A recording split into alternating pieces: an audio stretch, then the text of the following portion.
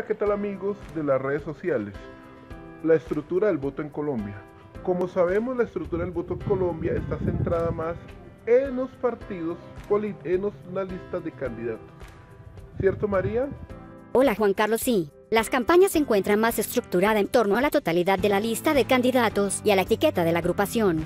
El éxito depende, en gran medida, de la cabeza de lista y del renglón que ocupa el candidato o candidata, también conocidas como listas con voto preferente. La competencia tiene lugar tanto al exterior, con sus contendores de otras agrupaciones políticas, como al interior de su lista, enfrentándose también con sus compañeros de agrupación. Se personaliza el voto, aumenta el costo de las campañas e importa menos la etiqueta de la agrupación. Umbral electoral. Umbral electoral en el Senado. En el caso del Senado de la República, el umbral electoral es del 3% del total de votos válidos. Es decir, si una agrupación política no obtiene ese mínimo porcentaje de votos, no puede acceder a la repartición de curules. Umbral electoral en corporaciones y Cámara de Representantes en el caso de corporaciones, cuya magnitud de circunscripciones igualados en la Cámara de Representantes, se exige que las agrupaciones políticas obtengan al menos el 30% del cociente electoral para que puedan acceder a la repartición de curules.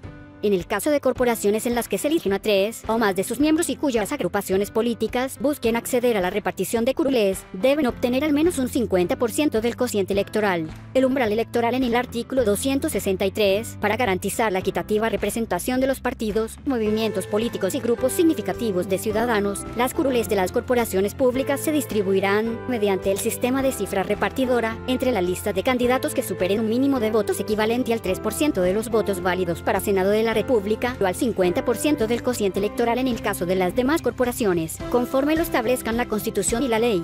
En las circunscripciones en las que se eligen dos miembros, se aplicará el sistema de cociente electoral entre las listas que superen, en votos, el 30% de dicho cociente.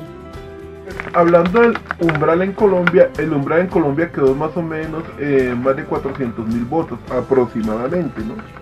En que cada año esto va subiendo según según la según el, total de votantes de votantes que hayan válidos ¿no?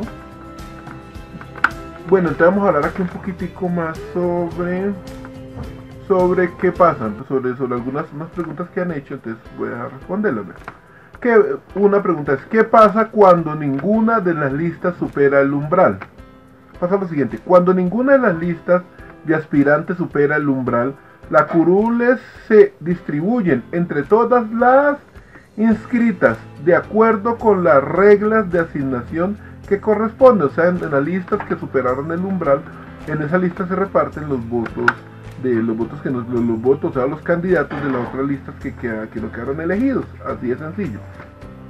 ¿Cómo se determina el umbral de, de Colombia para las elecciones territoriales? Se identifica el número total de votos válidos para la corporación se aplica la fórmula de, medio cociente.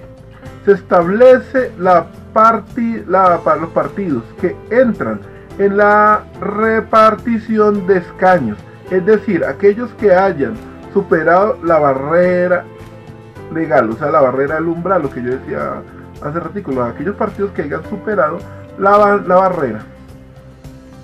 Esos partidos se les entrega entonces el eh, se le entrega entonces los escaños, o sea, los, los cúpulos, los espacios, las curules, como les queramos decir, ¿no? Que curul ese nombre viene de las sillas de los senadores de la época romana, ¿no? Eh, de ahí viene la palabra curul. A la silla de ellos se les llamaba curul, por eso se dice curul en el Congreso de la República.